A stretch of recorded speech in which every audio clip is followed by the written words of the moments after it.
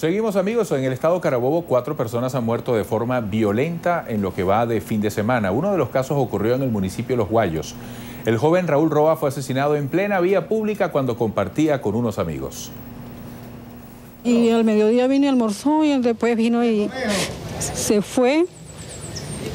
Y yo esperando lo que le hice la cena para que llegara, para que comiera, y estoy esperando y esperando y nada que llegaba. Y yo oí unos disparos cerca de la casa, entonces después yo dije, ay, ¿qué pasaría? Después el hijo mío, el otro salió llorando y yo dije, ay, seguro que fue el gordo, el gordo. Y que me mataron a mi muchacho.